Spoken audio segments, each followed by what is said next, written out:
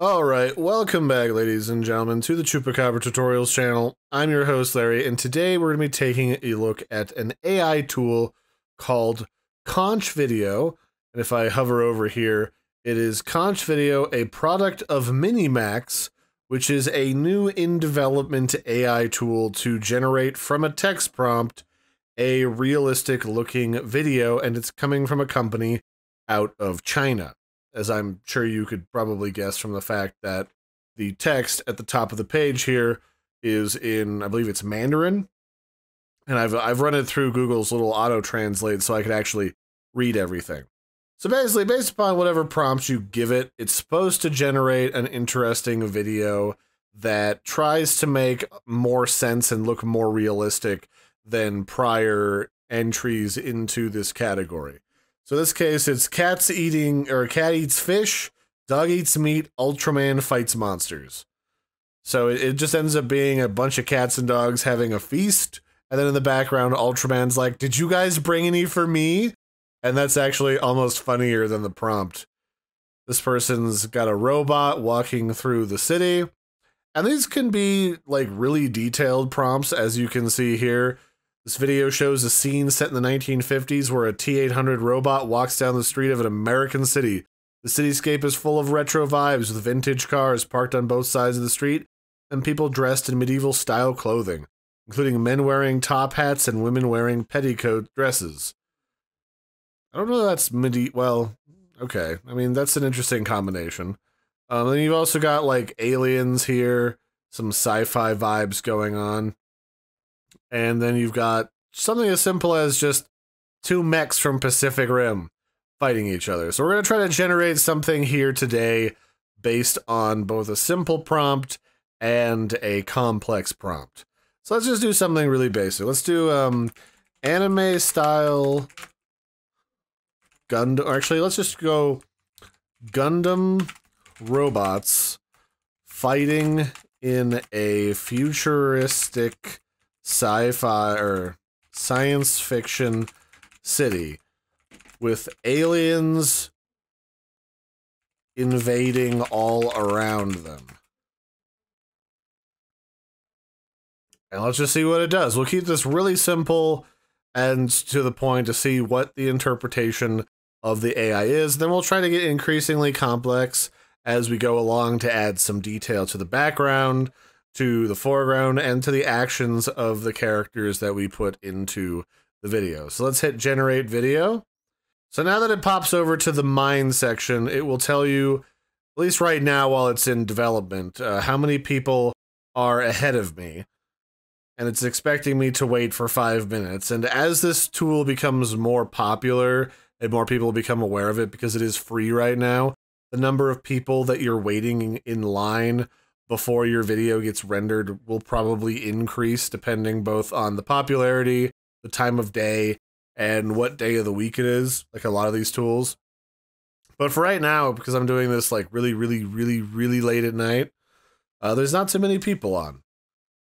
Previously, I generated like some weird ones, like this is supposed to be in a Japanese anime. The camera slowly zooms in on a space marine marching towards the camera. Background's on fire as if in an apocalypse. Didn't quite nail the Space Marine vibe, but it did give me like a sci fi soldier from the future.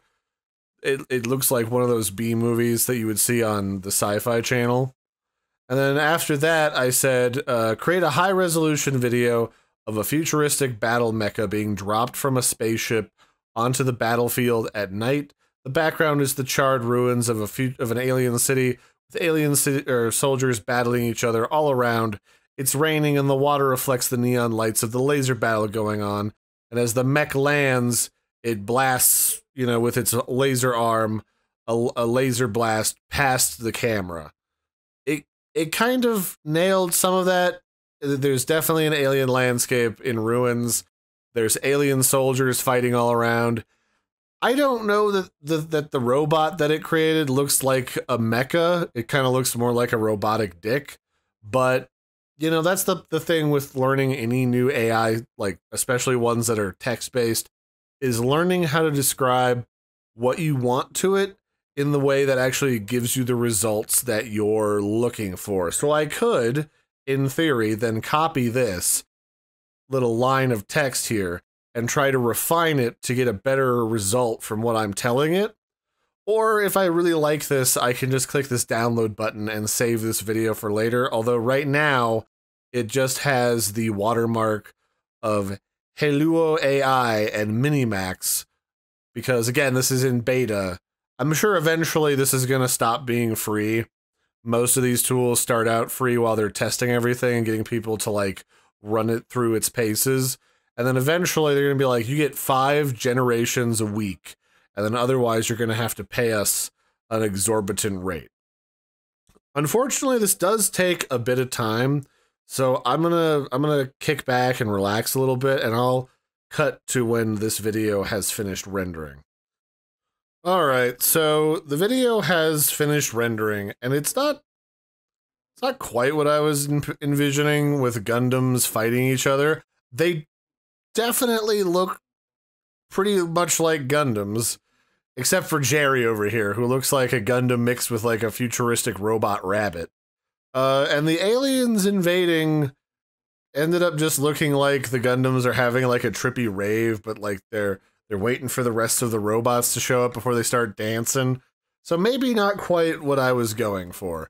So let's just let's keep this even simpler in the next prompt that we do. So what kind of thing do we want to do? There's like a hamster drinking a little coffee. There's a dragon landing. There's a panda eating some bamboo. Let's go with something fantasy based. A wizard reading an ancient tome inside of his magical library while sitting in a giant leather chair, looks up from what he is reading as the camera pans closer, and then suddenly casts Fireball. And let's see what this does. I'm not even really setting a setting or anything. I'm just, it's a wizard. He's reading a book in a library. And he looks up and he's like, Fireball! So it'll start rendering this out in about five minutes, or you know, whenever the one person is uh, in ahead of me in line is done getting their video rendered. All right, that actually went a little bit quicker than I thought it would, and it kind of the simpler you get, it seems to be producing a better result, at least for the things that I'm interested in making. Although it looks more like somebody like sneaks in and like casts a fireball to to freak the wizard out, and he's like, "How dare you, Jeremy!" and then he zaps somebody who is standing off screen. So that that kind of turned out all right. You could probably refine that with some more specific instructions on where you want the fireball to be to be cast. So what else sounds good? There's like a weird egg thing. What's this egg? Oh, it's just a promo for the company's name. Um, this is just an astronaut riding a unicorn on the moon. I can respect that.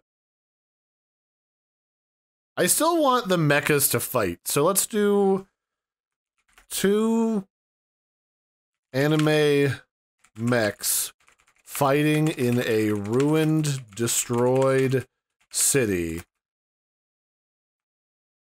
It's raining, and the rain reflects the neon weaponry and laser blasts.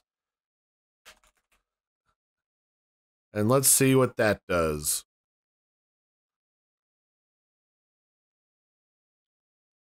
Okay, so this next one is done. Let's see what we got. It, eh, I don't even know really what to say about this. This doesn't really even look like two mechs fighting. It looks like two mechs desperately trying not to get turned into paper mache. Alright, well, let's just say like two robots kung fu fighting. In the background is a massive bucket of fried chicken. that's overflowing with chicken, gravy, and mashed potatoes. Then everything explodes with an explosion of flavor. And we'll just do this one as like the gag to end out this uh, this video about this particular AI generator. It's okay. I mean, the main thing that I've had as an issue with a lot of these tools is that with the time spent, especially with the ones that generate images or like logos, with the time spent trying to like really dial in on like a prompt to generate the exact image that you want, you could probably just make it yourself if you're an actual designer.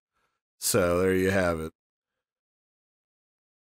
All right, let's see this delicious KFC commercial that I've inadvertently made. So robots kung fu fighting, excellent, and there's just a giant bowl of chicken. All right, this actually weirdly turned out correct. I don't know why this one out of all of the videos actually worked out. Maybe there's like a small bias towards advertising hiding in the background of this, and no small part that I feel a little bit snacky right now after seeing a commercial for some fried chicken when I was going to the restroom. Uh, that said, this has been a brief look at the Conch Video AI system, also known as the Halua Luo AI. I'll put both of those in the video description just because I'm not sure which one like people are actually going to be searching for. Um, I I found it because it was called like Video 01 from this company, and it's a it's a decent AI, and I think it's fun to play around with these in their early stages while they're free. But like a lot of these services, this is probably going to become a paid service relatively quickly after they've worked out some of the kinks and bugs and they get some fairly predictable results. Otherwise, I've been your host, Larry. Don't forget to like and subscribe, and I will catch you next time. I'll put a link to this in the video description below.